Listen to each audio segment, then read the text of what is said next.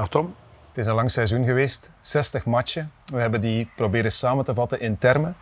Termen die in ons belangrijkste kleinoot zitten. De beker van België. Ze zitten verpakt in de vorm van balletjes. Het is heel simpel. Balletje openmaken, termen eruit halen en dan praten we erover. Oké. Go.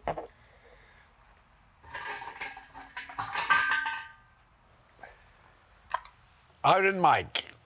Mike, daar hebben we vorig jaar wat problemen mee gekend. Hij heeft wat problemen gehad uh, met zijn knie. Uh, is, is wat uit geweest op het einde van het seizoen ook. Dus we maakten ons wel wat zorgen voor dit seizoen. Maar als je dan ziet hoe hij daar doorgekomen is en hoe hij dit jaar eigenlijk ja, zowat iedere training heeft meegedaan, alle matchen bijna heeft gespeeld. Uh, tot voor dit weekend het meeste speelminuten had, denk ik. Want ik denk met niet te spelen nu Wegens ziekte is, is Schmeichel er net over gegaan. Hij heeft er een, een, een ongelooflijk zwaar seizoen op, op zitten, maar een ongelooflijk goed seizoen ook. Heeft echt wel niveau gehaald doorheen uh, heel het seizoen, hoog niveau. Je kan alleen maar heel trots zijn op, uh, op iemand als Mike. Ik had niet verwacht dat hij, dat hij zoveel wedstrijden op dat niveau ging kunnen meedraaien uh, dit jaar zonder problemen. Dus ik moet zeggen dat Mike misschien wel de verrassing van het jaar is voor mij. Meest memorabele match. Ik zou zeggen op standaard, omdat we eigenlijk volop in onze inhaalrace zitten om, uh, om play-off 1 nog te halen. Maar wat daar allemaal is gebeurd, dat tergt alle verbeelding. Hè. Het begint al met eigenlijk uh, een tackle, duidelijk op de enkel, zelfs geen been van, uh, van Hanke Olsen. Daar wordt geel voor getrokken, wordt niet tussengekomen door de VAR. Dat gebeurt net voor onze neus. Maar dan gaat Vadis eraf voor iets waar hij eigenlijk totaal niet kan, uh, kan aan doen. Heb ik aan de rust eigenlijk drie wissels gedaan om offensiever te gaan spelen. Ook al waren we met tien, omdat ik wist, wij moeten die match winnen. En dan uiteindelijk kunnen we tien, acht minuten van het einde, denk ik, toch nog die, die meer dan verdiende treffer maken. Um, met een geweldige rush van achteruit van de Poitre en Hulsager. En, en uh, Tissoudali scoorde in de rebound. En dat was echt voor ons ja, het gevoel van, ja jongens, wat ze ook gaan proberen, ze gaan ons niet kunnen stoppen. Ik herinner mij inderdaad de anekdote waarbij uh, Michel Louagie op een bepaald moment roept c'est vendu en waarop uh, Bruno Venanzi reageert met, weet je het? Nee, ik heb dat niet gehoord. Je n'ai plus d'argent, Michel.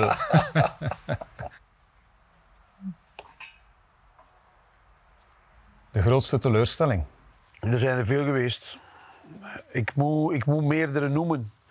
Uh, de eerste match op Sint-Truiden. Uiteraard de match op Cercle Brugge, omdat die cruciaal was voor ons om play-off 1 te halen. Toch ook wel PAOK, omdat het ook wel mijn ambitie was om daar heel ver te geraken. Iedereen leert uit het verleden natuurlijk. Denk je, ja, ik ben intussen gegroeid dermate als coach.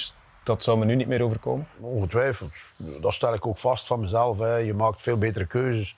Ik denk dat we nu op Genk eigenlijk ook uh, de bedoeling hadden om met een bepaald team te starten. Overlegd met de staf, iedereen. Iedereen vond dat een goed idee en uiteindelijk heb ik toch veranderd. Omdat ik het dan plotseling toch geen goed idee meer vond. Ondanks het feit dat ja, mijn stafleden, sommigen dan toch zeiden van ja, dat eerste vonden we wel beter. En ja, ik heb gezegd, ik snap jullie wel ergens. Maar je moet het zien over de langere termijn. Je moet die 90 minuten doorkomen. Je moet een resultaat kunnen spelen op het einde ook nog. En oké, het is uiteindelijk gebleken dat het toch niet verkeerd was. Eigenwijs. Iedereen heeft de indruk dat ik eigenwijs ben. Ik snap dat. Dat mensen die indruk hebben, maar eigenlijk ben ik niet eigenwijs. Helemaal niet. Als ik, als ik een onderhoud heb of uh, gewoon een, gesprek heb met mensen over, uh, over andere thema's, uh, waar ik voel van oké, die andere man die kent er veel meer van dan ik, dan ga je totaal niet de indruk hebben dat Hein van Azenbroek eigenwijs is. helemaal niet. Als het over voetbal gaat en over specifieke aspecten van het voetbal. En ik ga daar dan over praten met mensen die dan misschien minder gekwalificeerd zijn om, om die details in te zien. Ja, dan, uh, dan uh, weet ik dat ik gelijk heb. Het matcht perfect met de Gentenaren. Ik heb me hier ook altijd geweldig thuis gevoeld. Ook toen ik hier nog geen, geen trainer was. Hè. Als ik in Kortrijk coach was, als ik in Lokeren uh, speelde, kwam ik meer naar Gent dan nu. Hè. En nu gebeurt het af en toe nog eens. Maar je bent natuurlijk overal uh, gekend. Je wordt aangeklampt. Heel raar, maar ik kreeg applaus hè, toen ik rondwandelde op de terrassen. De terrassen zaten bomvol en ik kreeg applaus. En uh, ja, dat was wel plezant, moet ik zeggen. Als de mensen dan ja, dat toch waarderen dat je, dat je die beker hebt gewonnen voor hen. En eh, dat was wel leuk. Dus eigenlijk, ik mis het wel. Hè. Ik zou veel meer in de stad weer willen eh, rondlopen en veel meer eh, iets gaan drinken, iets gaan eten. Gewoon rondtrekken. Ik vind gewoon Gent een geweldige stad. En ik heb dat altijd zo gevonden. En ik ben zo blij dat ik een verre droom, toen ik nog geen trainer was van Gent, heb kunnen realiseren. En als je hier is, zouden iets fantastisch doen, binnenkomen met de bootjes in stad, dat moet toch geweldig zijn. En ik heb dat erdoor kunnen krijgen. Dat is de eigenwijze heen nou weer. Hè. Voilà. Maar er zijn 125.000 Gentenaars die zo blij waren dat ik het toch doorgeduwd heb. En we hebben het gedaan. Het was het, was het beste moment uh, van mijn leven. Op voetbalgebied. Hè.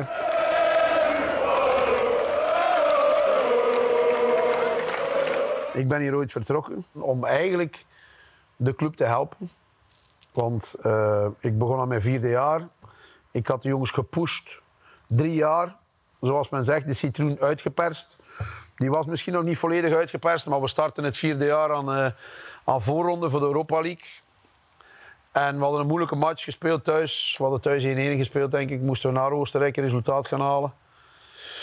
En oké, okay, Assari was gekwetst, Mitrovic was gekwetst. En ik heb die gasten toch gepusht om daar te spelen. Omdat ik wist dat we een kwaliteiten nodig hadden, want dat het anders echt wellicht niet ging lukken.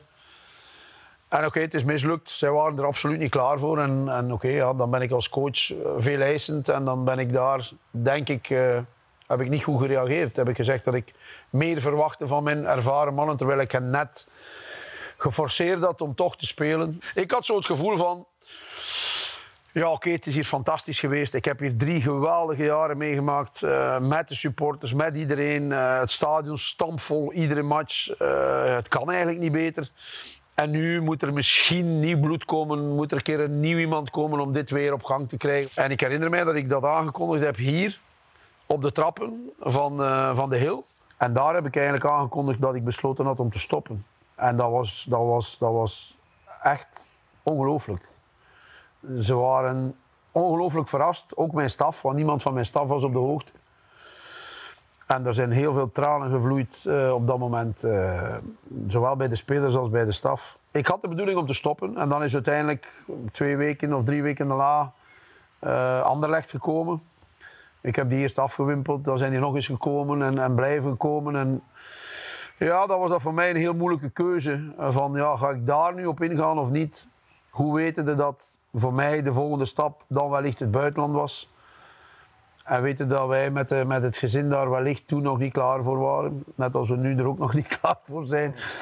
Um, ja, heb ik dan eigenlijk een beslissing genomen om, om, toch, om toch bij Anderlecht aan de slag te gaan. Maar dat was absoluut niet uh, mijn bedoeling als ik, als ik besloot van te stoppen om, om bij Anderlecht te gaan starten. Dieper en dieper. Slag om Vlaanderen. Uiteraard altijd dubbele motivatie als je tegen Brugge speelt. Nou, ik denk dat wij uh, onze eerste match 6-1 winnen. Met ja, indrukwekkend, indrukwekkende manier van voetballen. Brugge maakte geen kans eigenlijk. En dan uh, ja, heeft dat ons, denk ik, zoveel vertrouwen gegeven dat we zelf in staat waren om Ginder, Ginder te gaan winnen. We zijn twee keer gaan winnen op Club Brugge, wat uitzonderlijk is. Dat doe je niet zo vaak. Dus dat is een, een super prestatie. Uh, vooral omdat zij uh, ja, dit jaar um, uitgeschakeld waren in Europa. En er dan echt een, een item van maakten om de dubbel te pakken dit jaar. In die halve finale tegen Club Brugge. Uh, verlies je thuis volkomen onverdiend 0-1 en dan moet je na Ginder met een 0-1 achterstand, ja, begin er maar aan, hè, vol huis. Um, en daar hebben we het gewoon voortreffelijk goed gedaan. Het kan bijna niet mooier, zou ik zeggen. Penaltyreeks.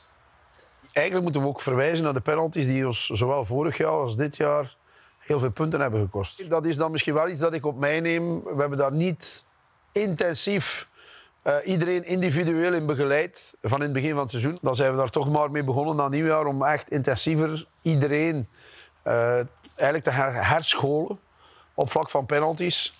En gaan herbekijken van wat past nu bij jou het best. Ik had 100% vertrouwen in de penaltyreeks. Uh, zelfs met het feit dat er vier van onze originele vijf trappers niet meer op het veld stonden. Ik herinner mij hoe Na de misser van een Gadeu of de redding van Van Kromberg, het is maar hoe je het bekijkt, jij meteen twee vingers in de lucht stak naar Davy. Ik had tegen hem gezegd dat hij er twee moest pakken. Hij had er tot dan toe nog maar één gepakt.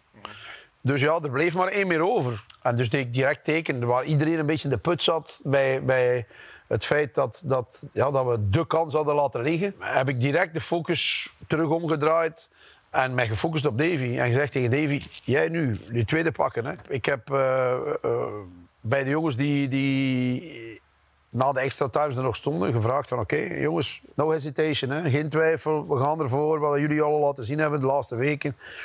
Ik zeg, uh, wie gaat beginnen? Ja, Julia, ik ga beginnen. En ik zeg, Andreas, uh, ja, is oké, no problem. Uh, die heb ik zelf gepusht. En Alessio wou ook trappen. En ik zeg, ja, waar, wanneer, oké, de derde dan. En dan zei Darko, alles shoot de fort. de laatste sessie voor de beker hadden we weer een competitie gedaan, waarbij hij dan de tiende moest trappen. En die gemist heeft. We hadden er wel superveel druk op gezet. Oké, okay, Darko, no problem, but not the fifth. De vierde. Ik zet jou de vierde en Mike, I will keep you for the last. Dus kijk, voilà, het is Mike die mist en Darko niet. Ik ben blij voor hem uiteraard en ik denk dat heel Gent blij was voor hem. Korte aanloop. En toch binnen. Maar toont hij over stalen zenuwen te beschikken. Tijd voor het volgende balletje. Feyenoord finalist. Ja. Is Gent misschien ook een mogelijke finalist geweest? Het had gekund, maar dan had alles ongelooflijk goed moeten meezitten. Ik vind niet dat Feyenoord een team is dat beter is dan ons. Het enige verschil is, zij scoren veel makkelijker dan ons. Wij hebben een fantastische defensie. Die dan weliswaar tegen Pauk een paar keer in de fout gaat op set pieces. En die, dat zou niet mogen. Uh, maar wij scoren gewoon uh, in die match te weinig. Wij moeten in die match meer scoren. En dan hadden wij inderdaad een ronde verder kunnen staan. En misschien, who knows, all the way. Uh, ik geloof erin dat een Belgisch team in staat moet zijn om in de Conference League finale te geraken. Tita Tovenaar. Ja, ik heb Tarik vorig jaar gehaald van Beerschot. Want eigenlijk stond hij nergens op, op geen enkele lijst. Ik was hier nog maar een maand. En ik was op zoek naar ja, offensieve kwaliteit. En Gert-Jan, de Mets was hier toen nog. En ik heb hem de vraag gesteld. Ik zeg, uh, Gert-Jan, wat denk je van, van Dali? En hij zei onmiddellijk, coach, zoals ik u ken. In uw manier van voetballen denk ik dat hij perfect zou kunnen passen. Ik zeg, ik zie hem niet als een winger. Hè. Ik zie hem als een inside guy bij de drie offensieven. Die een steun kan spelen van een diepe spits. Ja, zeg, dan, dan ben ik ervan overtuigd. Hij is een goede gast. Uh, plezanterik, een die graag lacht. Dan ben ik naar Michel geweest en gezegd, ja, Michel, ik denk dat die Soudali misschien wel interessant zou kunnen zijn voor ons. Gepolst, uh, een voorstel gedaan. Ultiem kwam Beerschot dan nog met een beter voorstel, waardoor dat wij nog iets, iets hoger zijn moeten gaan. Um, maar we hebben hem kunnen binnenhalen. Dan is hij dit jaar toch wel, ja, heeft hij zich echt heel goed aangepast, goed gestart. Uh, weliswaar veel kansen laten liggen in het begin. Hij deed fantastische acties, schakelde drie man uit en gaf dan een pasje binnenkant voet dat bijna niet toekwam. Dus uiteindelijk is hij daar dan ook meer gaan op focussen, op, op die, die, die overtuiging in zijn afwerking. En ik denk dat dat uh, onder meer geleid heeft tot, tot, tot meer doelpunten en belangrijker zijn. En dan, oké, zijn, zijn selectie voor de nationale ploeg van Marokko heeft hem ook goed gedaan. 60. 60. Voilà, toepasselijk. 60 minuten, 60 matchen. Het is een, eh, een bijzonder lang seizoen geweest. Heel vroeg moeten starten, voor de competitiestart al Europees moeten spelen. Zes uh, kwalificatiematchen, heel veel geroteerd op dat moment. Chapeau voor mijn groep. Op die manier, uh, die drive, 60 matchen aan een stuk blijven gaan. Echt geweldig, geweldig trots op de groep.